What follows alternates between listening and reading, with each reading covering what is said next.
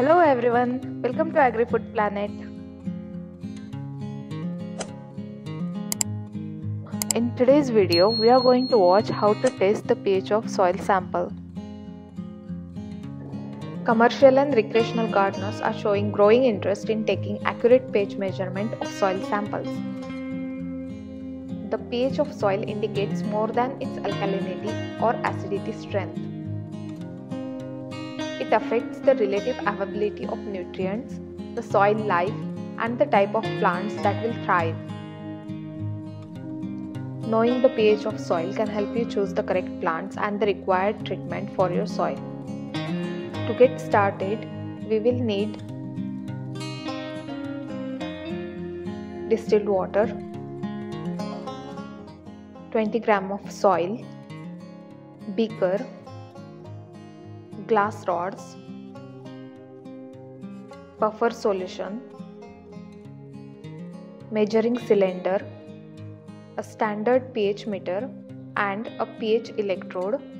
To measure 20 gram of soil sample, we will require a weighing balance. First, weigh 20 gram of soil sample into a 100 ml beaker and 40 ml of distilled water in a measuring cylinder. Add 40 ml of distilled water into 20 gram of soil sample and stir it with the help of glass rod or stirrer to mix for 30 minutes. After 30 minutes of mixing, let it stand for an hour.